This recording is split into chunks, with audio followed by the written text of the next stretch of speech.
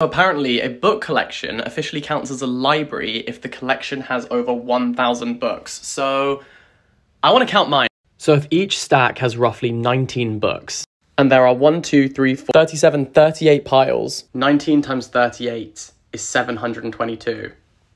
I'm gonna have to count them. Here we go, we're doing this. This is how I'm spending my day. I'm having to keep track so I don't lose count, but I'm at 178 so far. Just got to 300. And I had to start putting post-it notes on the stacks that I've counted so I don't count them twice. We've reached the 500 mark. I've made it to 722, so I do have more than predicted. And I still have more in other places. And I just remembered these from my old apartment. Just reached 900. My final total was 943. I am so close to having a library. So who's coming with me to the bookstore?